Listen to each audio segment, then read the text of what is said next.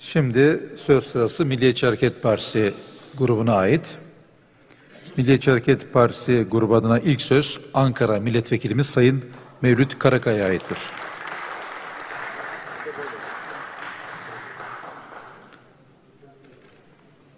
Süreniz 15 dakika Sayın Karakaya.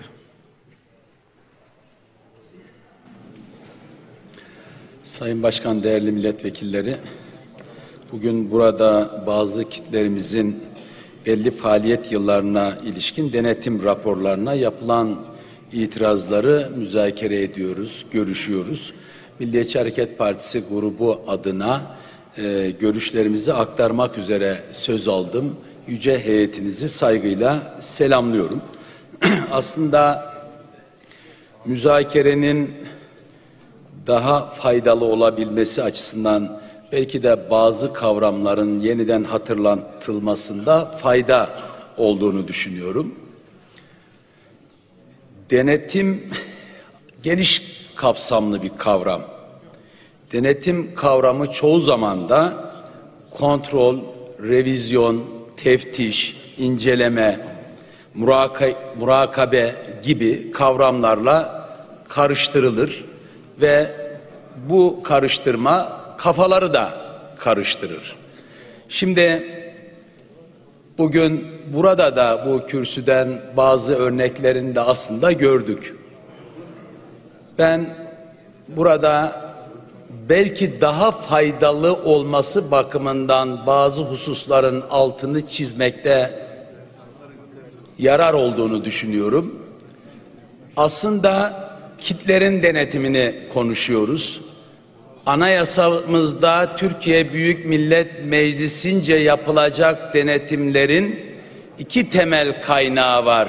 İki kaynağı, iki maddeye dayanıyor. Birisi malumlarınız 160. madde bu daha çok merkezi yönetim idareleriyle alakalı sosyal güvenlik kurumlarında içine alan denetimlerle alakalı ki burada anayasamız bu madde kapsamında aslında Sayıştay'ı burada yetkili kılıyor ve Sayıştay tarafından hükme bağlanıyor. İkinci dayanak, ikinci madde 165. madde yine burada da kamu iktisadi teşebbüslerinin denetimi gündeme getiriliyor ve bunların Türkiye Büyük Millet Meclisi'nce denetiminin yapılabilmesi için yasal bir düzenlemeye işaret ediyor.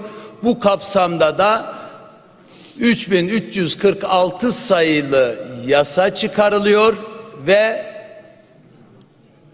Sayıştay'a ilişkin Sayıştay'ın kuruluş kanununda bu hükümler yer alıyor.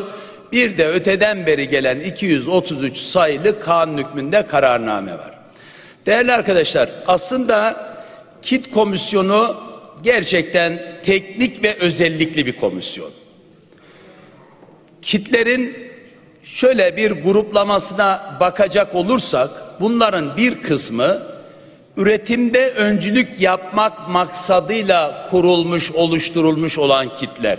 Genel ekonomi içerisinde bunlara beş, belli işlevler, görevler verilmiş. Bir kısmı düzenleyici kurum niteliğinde olanlar, piyasayı regüle edenler. Bir kısmı başka amaçlarla yani kitlerin ana statülerine baktığımızda onlara verilmiş olan genel ekonomi üzerinde içerisinde bazı işlevleri yerine getirmek görevleri burada sayılmış olan hususlar var. Şimdi biz genellikle görüyoruz ki bu zaman zaman kit komisyonunda da oluyor. Tüm denetim ve gözetim işlevini, ölçütü kar noktasına getirip dayıyoruz. En büyük yanlışlardan biri olduğunu düşünüyorum. Çünkü kitlerin hepsinin belli bir işlevi vardır, fonksiyonları vardır. Kitler öncelikle o görevlerini yerine getirmek durumundalar. Ancak o işlevleri yerine getirirken de karlılık ve verimlilik esasına göre hareket etmek zorundadırlar. Biz burada bir kiti zarar etti, kar etti tek ölçütüyle, tek amacı oymuş gibi değerlendirip arkasından da örneğin bir piyasa düzenleyen kurumu benim de daha önce genel müdürlüğünü yaptığım diyelim ki toprak mahsulleri ofisini bu açıdan değerlendirip kar etmiyor, zarar etmiyor der arkasından da hubat piyasası düştü, çiftçi zarar etti diye soramayız. Bu bir tenakuzdur. Dolayısıyla biz burada önce kitlerin kitlerin esas işlevlerinin ne olduğuna bakmak durumundayız. Ama bu işlevleri yerine getirirken de karlılık ve verimlilik esasına uygun hareket edip etmediğini de yapacağız. Çünkü kamu kaynağını verdik. Anayasamızda buna özel bir önem veriyor. Kit komisyonunda genellikle bu konudaki uzman bu konuya yakın olan parti mensup üyeleri tarafından oluşturuluyor. Bunu belki karıştırmamak lazım diye bunun altını çizme ihtiyacı duydum. Değilse burada konuşulurken şunu görüyoruz ki iki cümle peş peşe gelen iki cümle birbiriyle çelişiyor arkadaşlar. Yani kitler ya asli görevlerini yapacaklar ya da kar edecekler. Amaçları karsa bırakalım serbest piyasa ekonomisi özel sektör yapsın gitsin. Bunları karıştırmamamız gerekir diye düşünüyorum.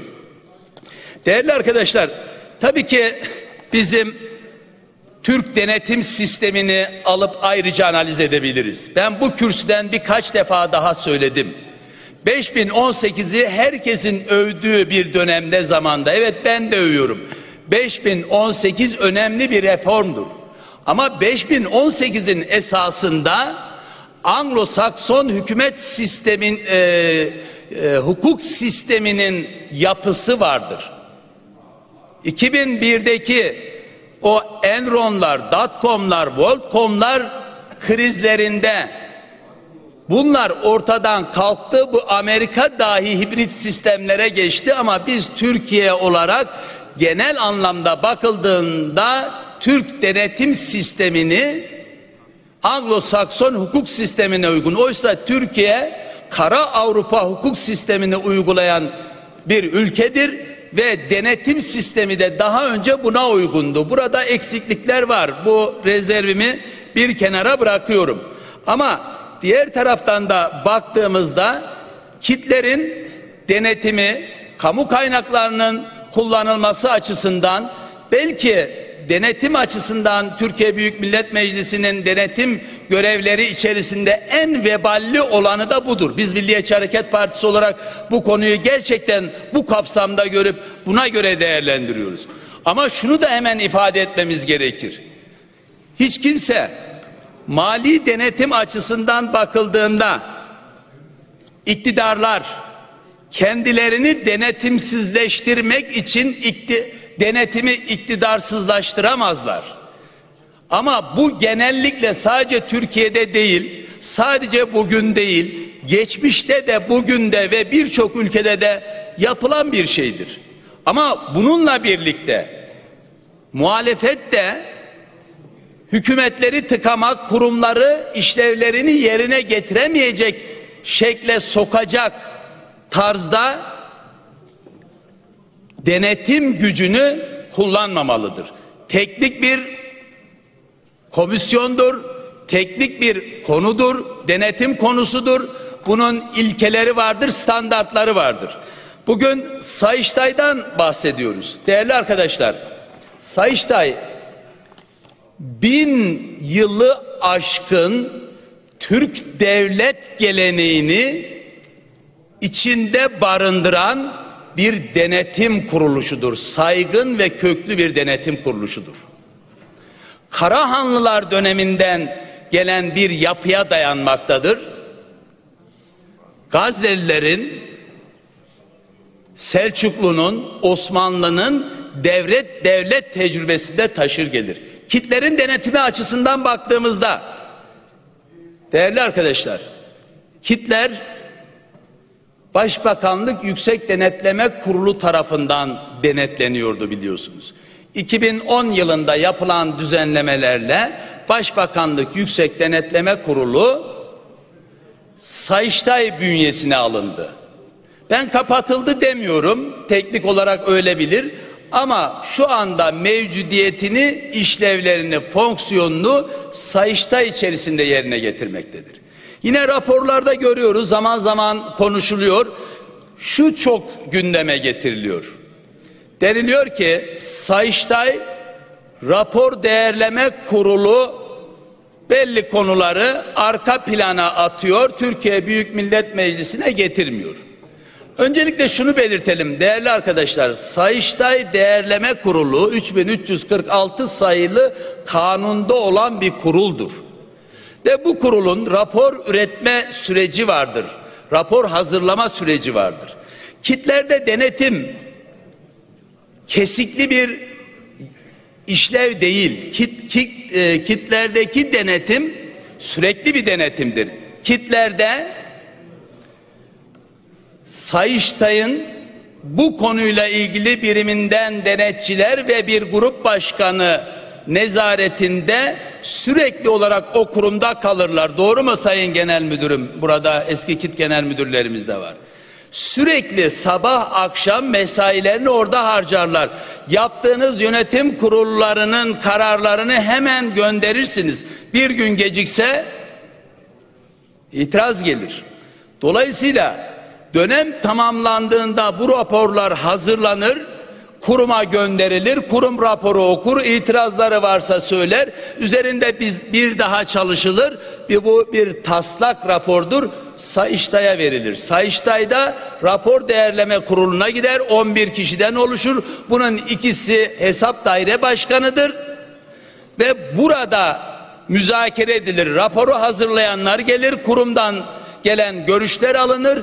Burada değerleme hal değerlenir ve sonuçta Sayıştay raporu olarak basılır Türkiye Büyük Millet Meclisi'ne gelir. Kit komisyonunda görüşülür. Yani bunun süreçleri ve bu süreçlerde itirazlar vardır ve bu süreçlerde herkes söyleyeceğini söyler. En son kit komisyonunda da kurum başkanı, kurum yetkilileri gelir orada hesaplarını verirler ve karar verilir. Bakın bugün de buraya geldik. İbra edilmiş olan bir kitin kit, kitlerin bazı yıllarına ait hesaplarını bugün genel kurula getirdik. Getirelim çünkü bu bizim denetim hakkımızdır. Sonuna kadar yapalım. Ama dediğim gibi bu denetimin de bir teknik konu olduğunu ve o şekilde olaylara bakılması gerektiğini de bilmemiz gerekir. Buna dikkat etmemiz gerekir diyorum. Şunu söylemiyorum. Elbette bizim denetim yapı ve sistemimiz içerisinde yasama denetimi var şu anda bizim yaptığımız denetim. Burada yargının denetimi var. Aynı zamanda yürütmenin de kendi içinde bir denetim mekanizması var. Yanlış yapanlar bu kurumlarda ya gidip yargıda ya da kendi içerisindeki ceza sistemi içerisinde cezalandırması her zaman söz konusudur. Yani dolayısıyla öyle başıboş bir durumda söz konusu değildir. Yine baştan söylediğim gibi burada kamu kaynakları kullanılmaktadır. Bu kamu kaynaklarının kullanılmasında denetimin belki birçok alandan çok daha sıkı bir biçimde yapılması gerekir ve biz buna inanıyoruz ve olaylara da bu hassasiyetle yaklaşıyoruz. Değerli arkadaşlar burada bir iki hususu da dile getirmekte fayda var belki. Ee, tabii e, Sayıştay e, 2018 Aralık ayının sonlarında e, denetim rehberini yeniledi. O denetim rehberinde e, getirilecek e, kit denetim raporlarının formasyonunda da bazı değişiklikler yaptı. Bu değişiklikler önemli değişiklikler ve önemli bir kısmı da uluslararası denetim standartlarına uygun. Daha önce görüş bildirme buralarda yoktu. Görüş olumlu, olumsuz neyse e, bir görüş beyanı da burada yer alacak. Bu açıdan baktığımızda olumlu gelişmeler ama mali tablolarının hazırlanmasında kitlerin birçoğunda eksiklik var. Bağımsız denetime tabi olanlar, halka açık olanlar da o uluslararası finansal raporlama standartlarına uygun raporlar evet geliyor ekstra istiyoruz ama bizim kit komisyonuna gelen raporların önemli bir kısmı tek düze muhasebe sistemine göre gelmekte ve burada muhasebe temel kavram e, ve ilkeleri açısından bazı konular maalesef vergi temelli olarak alındığından dolayı finansal raporların bizim anladığımız anlamda gerçeği yansıtmasını engellemektedir. Bu sistemle alakalı bir durum. Belki bunların düzeltilmesi gerekiyor. Bir de yeni formatta mali raporlarla ilgili kısımda biraz kırpma söz konusu, biraz daraltılma söz konusu. Ben bunu yeni 2019 yılında uygulanmadan buranın tekrar bir gözden geçirilmesinin uygun olacağı kanaat ve düşüncemiz